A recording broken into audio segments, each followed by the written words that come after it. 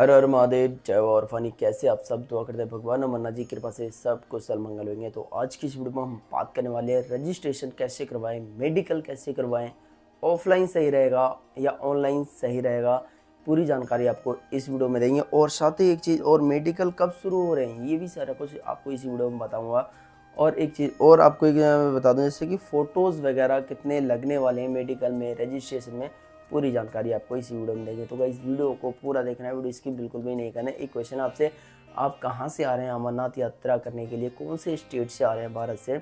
Comment section में अपने state का नाम मेंशन ज़रूर करें। ये पता चलता है कि सबसे ज़्यादा यात्री कौन से स्टेट से बिलोंग करते हैं।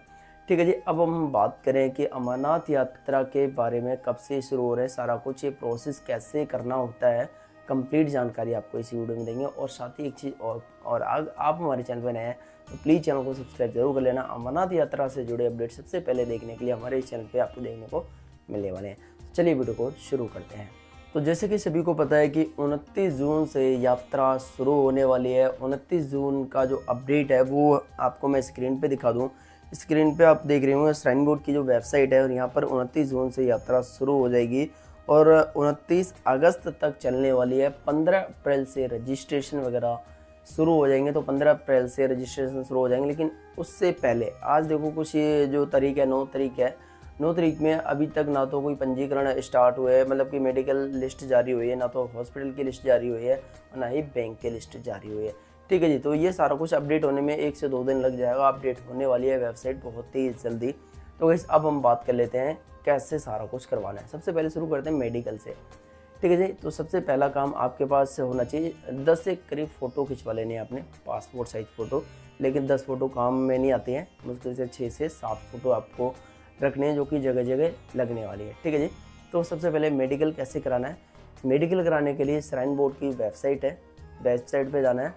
अपने वहाँ पे हॉस्पिटल चेक करना है। आपका हॉस्पिटल मतलब नियर बाय में जो हॉस्पिटल होएगा, वो लिस्ट जारी हो जाती है वेबसाइट पे अपडेट हो जाती है।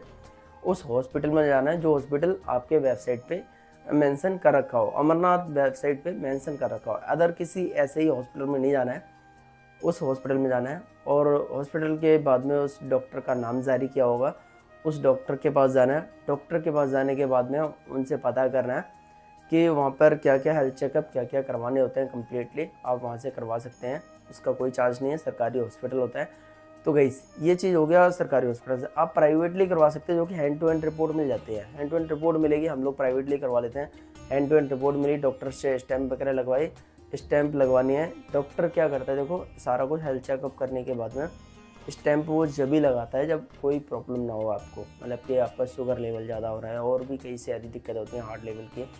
तो वो है रिजेक्ट अगर कर देगा तो आपका जो है मेडिकल नहीं बनेगा। डॉक्टर को रिजेक्ट नहीं करना है, आपको हेल्थ को बढ़िया रखना है, अपने रनिंग वगैरह करते रखना है। अभी देखो शुरू होने वाले तो अपने आप को फिट रखें, जो कि मेडिकल है, आपका एकदम ओके रिपोर्ट आए और डॉक्टर फटाफट से अपने स्टैंप लगा दे पास कर दे। ठीक है जी?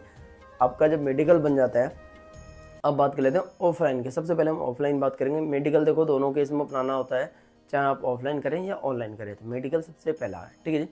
मेडिकल बनने के बाद में आपको ऑफलाइन में आपका जो बैंक लिस्ट चेक करनी है, जैसे कि कौन सी बैंक में, जैसे कि पंजाब नेशनल बैंक है, उसमें होता है। तो बैंक अपनी लिस्ट देख लेनी है नियर बाय में कौन सी बैंक का नाम आया है, उस बैंक में जाना है और अपना मेडिकल दिखाना है। और वहाँ पर मेडिकल दिखाने के बाद में वो लोग अब आपका परमिट जो है बना करके दे देंगे। ठीक है जी? तो इस तरीके से आप अपना बना सकते हैं, लेकिन परमिट जो आप बनवाएँगे तो उसमें आपको लिखना होगा कि आपको यात्रा कहाँ से करनी है पहलगाम मार्ग से, या बाल्टन मार्ग से, ठीक है दो मार्ग होते हैं, दोनों में से एक आपको सिलेक्ट करना होता है। मैं रिकमेंड करूँगा पहलगाम से करेंगे यात्रा। ठीक है जी? ये हो गया हमारा ऑफलाइन का सिस्टम अब बात कर लेते हैं ऑनलाइन के। आपने इसे मेडिकल तैयार करा लिया है। मेडिकल तैयार कराने के बाद में आपको श्राइन बोर्ड की वेबसाइट पर जाना है। वहाँ पर आपको सबमिट करना है हार्ड कॉपी ठीक है जी? हार्ड कॉपी कैसे करनी है? देखो जो आपने, डॉक्टर ने सारा कुछ, अपने स्टैम्प वगैरह लगाई इसका एक पीडीएफ बनाना है एक एमबी का। ये कोई नहीं बताएगा, मैं बता रहा हूँ आपको। एक एमबी का पीडीएफ बनाना है, ये अपलोड करना है। एक पासपोर्ट साइज़ फ़ोटो लेनी है, फ़ोटो एक के की बनानी है, एक के की फ़ोटो आपको अपलोड करनी है, ठीक है? जेपीजी फ़ाइल जो होती है हाँ जे फ़ाइल जो होती है, उसमें बनानी है फ़ोटो को, वो अपलोड कर देनी है। तो इस तरीके से अपलोड करेंगे तो 24 घंटे नहीं लगते हैं। उससे पहले ही आपको जो पेंडिंग दिखाता है, अंडर प्रोसेस, जब वो चेक कर लेते हैं उसके बाद में आपका जो है परमिट बन करके ऑनलाइन ही आ जाएगा, उसको आप निकाल सकते हैं। ठीक है जी, ये हो गया और इसमें एक तो मैंने आपको वो बता दिया फ़ोटो और पासपोर्ट साइड ये सारा कुछ। तो ये पूरी कंप्लीट जानकारी हो गई इसमें। हाँ सबमिट करते टाइम पे आपको मेल आईडी डालनी डालनी है। मेल आईडी पे आपको नोटिफिकेशन आ जाएगा मेल आ जाएगा। आपका परमिट उसी में पीडीएफ में बन करके आ जाएगा, वहाँ से डाउनलोड आप कर सकते हैं। ठीक है जी तो ये रही पूरी जानकारी, लेकिन अभी कुछ ही अपडेट होनी बाकी रह गई है, जो कि वेबसाइट में क्या क्या अपडेट होना बाकी रह गया फॉर्म अपडेट होना बाकी रह गया हॉस्पिटल लिस्ट अपडेट हो गई होने वाली है, और बैंक लिस्ट अपडेट होने वाली है, और वहीं आपको डॉक्टर लिस्ट भी अपडेट होने वाली है। बस एक से दो दिन में या चार दिन में हद से ज़्यादा लगा लो, इससे ज़्यादा टाइम नहीं लगेगा। बाकी अगर आपका कोई क्वेश्चन हो तो कमेंट सेक्शन में ज़रूर बताना, आपकी हेल्प हंड्रेड परसेंट ज़रूर होगी। बाकी वीडियो अच्छा लगे लाइक करना, दोस्त शेयर कर देना। मिलते हैं नेक्स्ट वीडियो में नाइट होप तब तक के लिए हर हर महादेव। जय बाबा